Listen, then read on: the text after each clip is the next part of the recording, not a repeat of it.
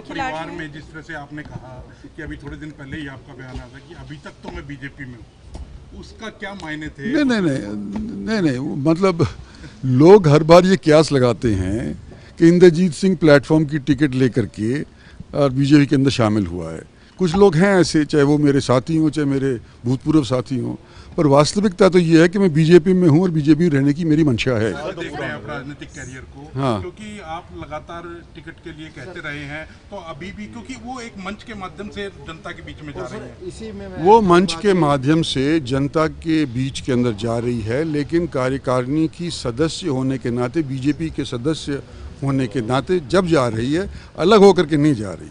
Sir आरती राव ने पूरे दक्षिण हरियाणा की बात की। तकरीबन सभी हल्कों में जनसभा की है अच्छी खासी भीड़ भी जुटी है और आरती राव और उनके जो समर्थक है कह रहे हैं कि इस बार आरती चुनाव ज़रूर लड़ेंगी।